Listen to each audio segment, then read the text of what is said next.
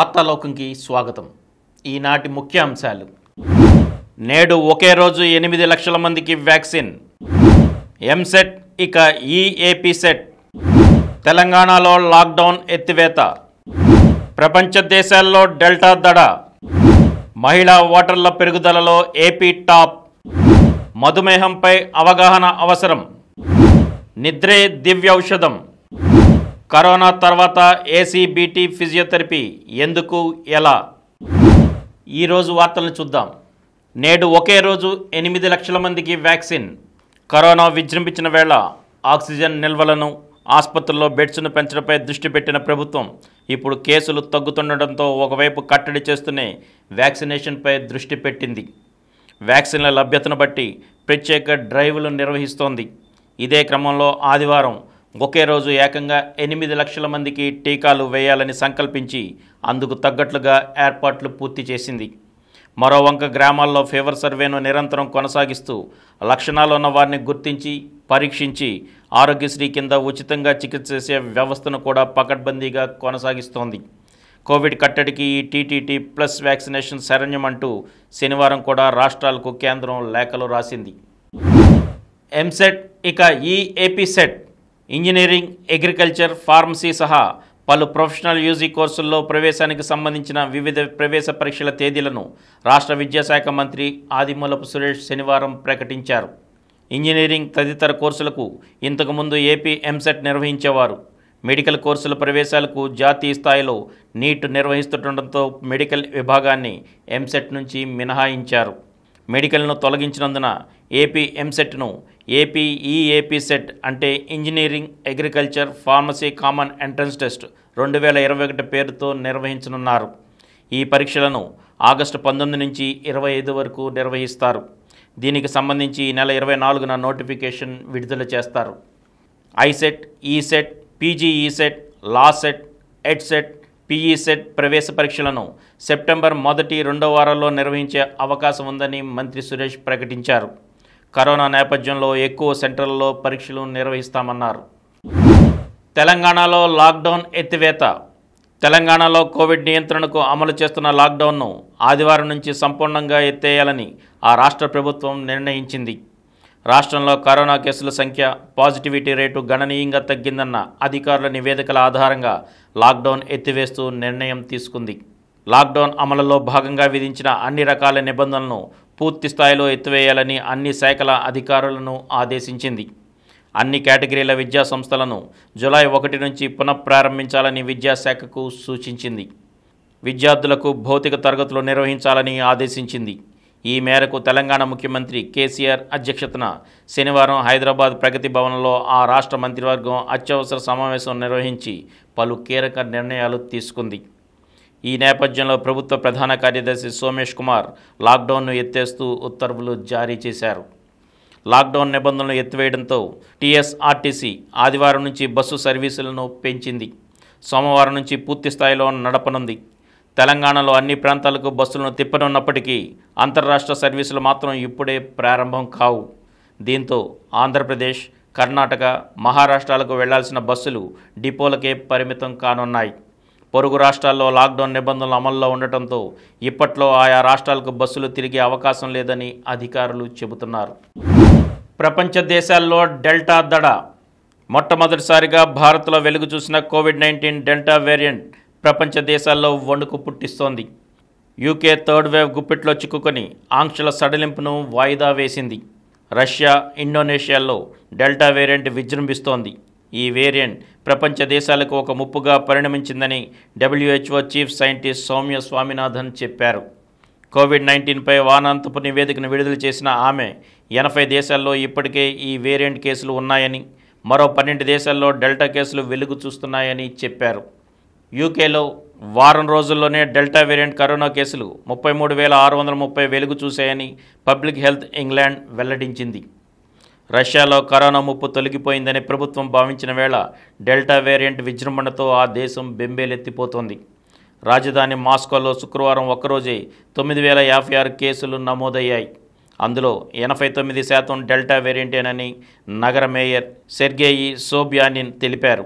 గత రెండు వారాల నుంచి కేసులు పెరిగిపోతున్నాయని చెప్పారు. అమెరికాను కూడా డెల్టా వేరియంట్ భయపెడుతోంది. ముఖ్యంగా అక్కడ యువతలో ఎక్కువ ప్రభావం చూపించడం ఆందోళన పెంచుతోంది. ఈ వేరియంట్ అత్యంత ప్రమాదకరమైందని అమెరికా అధ్యక్షుడు జో బైడెన్ అన్నారు. యువతకు ఈ వేరియంట్తో ముప్పు పొంచి ఉందన్న ఆయన అందరూ వ్యాక్సిన్ వేసుకోవడానికి ముందుకు రావాలని పిలుపునిచ్చారు. అప్పుడే ఈ వైరస్ని కట్టడి చేయగలమని అన్నారు. మహిళా ఓటర్ల పెరుగుదలలో ఏపీ టాప్. దేశవ్యాప్తంగా మహిళా ఓటర్ల పెరుగుదలలో ఆంధ్రప్రదేశ్ మొదటి స్థానంలో నిలిచింది. రెండు వేల పద్నాలుగు పార్లమెంట్ ఎన్నికలతో పోలిస్తే రెండు వేల పంతొమ్మిది నాటికి రాష్ట్రంలో మహిళా ఓటర్లు భారీగా పెరిగినట్లు కేంద్ర ఎన్నికల సంఘం విడుదల చేసిన తాజా నివేదిక వెల్లడించింది.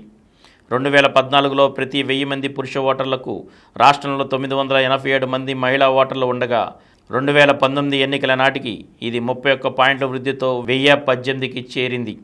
అంటే ఇప్పుడు ప్రతి వెయ్యి మంది పురుష ఓటర్లకు వెయ్యి పద్దెనిమిది మంది మహిళా ఓటర్లు ఉన్నారు. దేశీయ సగటుతో పోలిస్తే రాష్ట్రంలో తొంభై రెండు మంది మహిళా ఓటర్లు అధికంగా ఉన్నారు. ఇక దేశవ్యాప్తంగా కేవలం నాలుగు రాష్ట్రాల్లో మాత్రమే మహిళలు ఓటింగ్లో కీలక పాత్ర పోషిస్తున్నారు.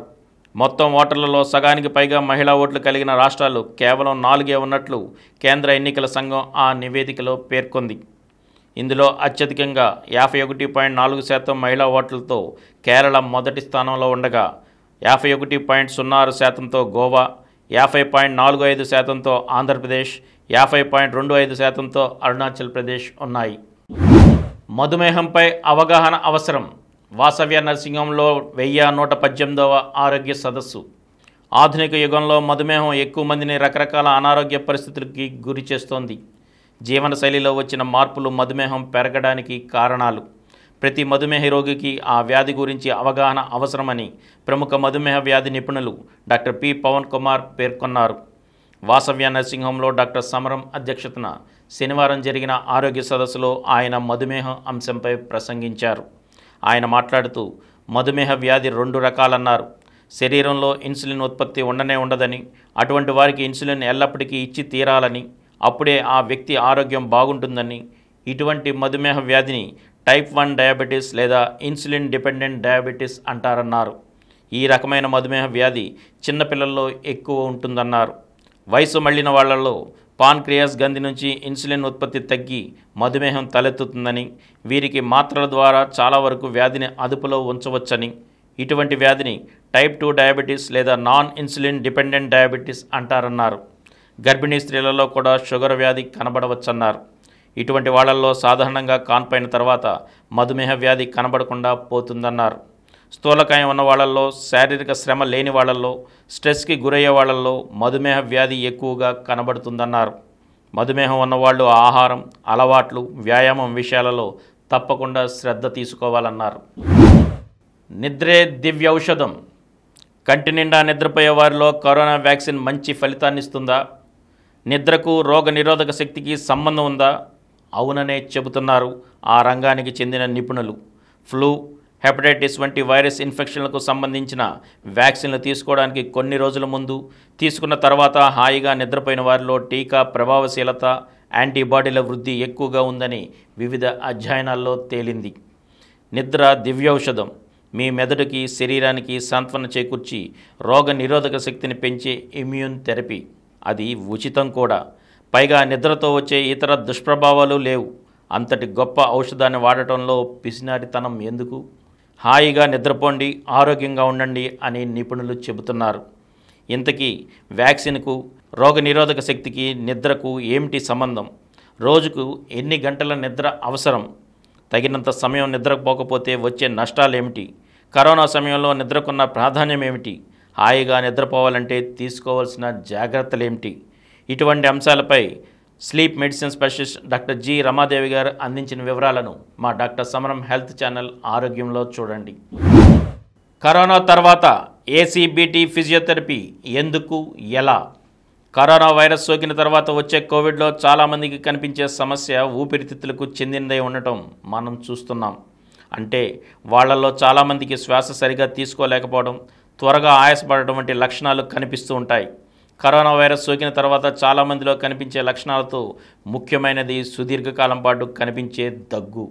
దాంతోపాటు తెమడ పడటము మామూలే. ఇలాంటి తెమడ గళ్ళను ఊపిరితిత్తుల్లోంచి తొలగించడానికి ఎడతెరిపి లేకుండా దగ్గు వస్తూ ఉంటుంది. ఇలాంటి వారిలో ఊపిరితిత్తుల్లో తెమడ అంటే గళ్ళ ఉండటం వల్ల శ్వాస కూడా తేలిగ్గా జరగదు. దాంతో గళ్ళ తొలగిపోయి శ్వాస ప్రక్రియ తేలిగ్గా జరుగుతూ దగ్గు తగ్గాలంటే అనుసరించాల్సిన శ్వాస ప్రక్రియనే యాక్టివ్ సైకిల్ ఆఫ్ బ్రీతింగ్ టెక్నిక్స్గా చెప్పవచ్చు. దీన్నే సంక్షిప్తంగా ఏసీబీటీగా వ్యవహరించవచ్చు. ఈ ఏసీబీటీ వ్యాయామాలను ఎలా చేయాలో మా డాక్టర్ సమరం హెల్త్ ఛానల్ ఆరోగ్యంలో చూడండి. ఇప్పుడు కొన్ని సంక్షిప్త వార్తలను చూద్దాం. దేశంలో ఇరవై నాలుగు గంటల్లో అరవై వేల ఏడు వందల యాభై మూడు కొత్త కేసులు బయటపడగా పదహారు వందల నలభై ఏడు మరణాలు సంభవించాయి. రాష్ట్రంలో కొత్తగా ఐదు వేల ఆరు వందల డెబ్బై నాలుగు పాజిటివ్ కేసులు. తెలంగాణలో కొత్త కేసులు పదమూడు వందల అరవై రెండు. ఇరవై మూడు నుంచి జోరుగా వానలు. రాష్ట్రంపై ఆదివారం నుంచి బ్రేక్ మాన్సూన్ ప్రభావం మొదలవుతుందని దీని కారణంగా కోస్తా రాయలసీమల్లో మెల్లమెల్లగా వర్షాలు కురుస్తూ ఈ నెల ఇరవై మూడు నుంచి జోరు అందుకుంటాయని వాతావరణ శాఖ అధికారులు వివరించారు. రెండు వేల ఇరవై రెండు నాటికి వాయుసేనలోకి రఫేల్. భారత వాయుసేనలో రెండు వేల ఇరవై రెండు నాటికి ముప్పై ఆరు రఫేల్ యుద్ధ విమానాలను ప్రవేశపెట్టడమే లక్ష్యంగా పెట్టుకున్నామని భారత వాయుసేన చీఫ్ ఆర్కేఎస్ భదౌరియా పేర్కొన్నారు. మాల్స్కు రెస్టారెంట్లకు వెళ్తాం. బంధుమిత్రులను తోటి ఉద్యోగులను కలుస్తాం. లాక్డౌన్ ఎత్తివేత నేపథ్యంలో పలువురు ఆసక్తి. దేశవ్యాప్తంగా మూడు వందల పద్నాలుగు జిల్లాల్లో లోకల్ సర్కిల్స్ సర్వే. అయితే కోవిడ్ మహమ్మారి విషయంలో ప్రజలు నిబంధనలు గాలి కొదిలి నిర్లక్ష్యంగా వ్యవహరిస్తే మళ్ళీ మహమ్మారి పంజా విసురుతుందని నిపుణులు హెచ్చరిస్తున్నారు. నూట తొంభై దేశాల్లో రేపు యోగా దినోత్సవం. టీవీ ద్వారా ప్రసంగించనున్న ప్రధాని నరేంద్ర మోదీ. జాగ్రత్తగా అన్లాక్ చేయండి. కేంద్రం సూచన. అన్ని రాష్ట్రాల్లో కోవిడ్ ప్రోటోకాల్స్ పాటించడంతో పాటు కరోనా టెస్టింగ్ ట్రాకింగ్ ట్రీట్మెంట్ టీకాలు నిరంతర అప్రమత్తత ఇలా ఐదు అత్యంత ఆవశ్యకమైన నియమావళిని రాష్ట్రాలు తప్పక కొనసాగించాలని అజయ్ భల్లా సూచించారు.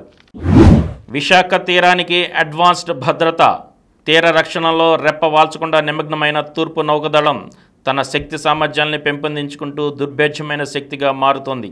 తాజాగా అడ్వాన్స్డ్ లైట్ హెలికాప్టర్లు నౌకదళ అమ్ముల పొదిలో చేరడంతో తూర్పు తీర భద్రత మరింత పటిష్టమైంది. రాష్ట్రానికి మరో ఐదు పాయింట్ ఒకటి ఆరు లక్షల టీకా డోసులు. తిరుమల తిరుపతి మధ్య విద్యుత్ బస్సులు తిరుమలను గ్రీన్ హిల్స్గా ప్రకటించినందున ప్రస్తుతం తిరుమల తిరుపతి మధ్య నడుస్తున్న ఉచిత బస్సుల స్థానంలో విద్యుత్ బస్సులను ప్రవేశపెట్టాలని నిర్ణయించినట్లు తిరుమల తిరుపతి ధర్మకర్తల మండలి చైర్మన్ వైవి సుబ్బారెడ్డి వెల్లడించారు. చీకటి కమ్మేసింది.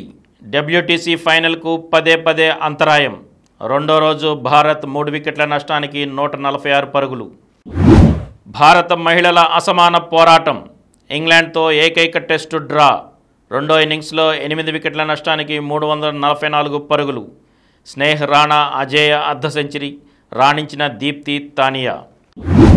మరిన్ని వార్తా విశేషాలతో రేపటి వార్తాలోకంలో కలుద్దాం. Thank you.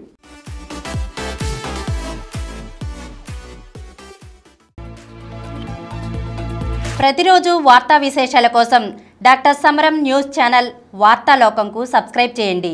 అలాగే ప్రక్కనున్న గంట సింబల్ని ప్రెస్ చేయడం మర్చిపోకండి. Please download Samaram multi channel app and watch your favourite channels from your mobile app available on Google Play Store and subscribe to the channels